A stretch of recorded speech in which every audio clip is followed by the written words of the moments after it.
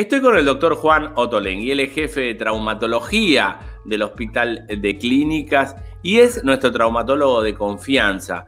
Ese traumatólogo que se sienta con vos hasta hablar qué te pasa. Eh, hoy en día la traumatología es muy amplia. ¿Cómo andás, Juan? Muy bien, Diego, todo en orden, por suerte. Bueno, él está trabajando ya en el Hospital de Clínicas todas las mañanas, muy tempranito ahí. Doctor, eh, la pregunta de hoy es, el colágeno tipo 2 y las articulaciones, ¿qué reflexiones nos podés hacer de este tema? Bueno, normalmente el, colágeno es una, es, una proteína que nosotros tenemos dentro del organismo. La vamos fabricando, naturalmente se, se fabrica, y al correr de los años, por el correr de los años, después de ya los 50 años, el colágeno ya se deja de producir. Por lo tanto, hay un déficit en nuestra articulación del colágeno.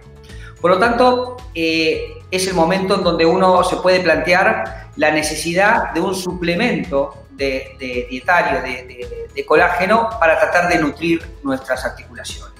Eso va a permitir, en líneas generales, que tengamos una mejor movilidad, tengamos un menor dolor articular, que em, se favorece principalmente por ese, colágeno que nosotros le estamos, eh, y sobre todo el tipo 2, ¿no? porque hay distintos tipos de colágenos, hay más de 20 tipos de colágenos, pero el tipo 2 es el específico para las articulaciones le va a dar como una especie de andamio a toda la estructura del cartílago articular, que, es fundamental para que la movilidad de la articulación funcione correctamente.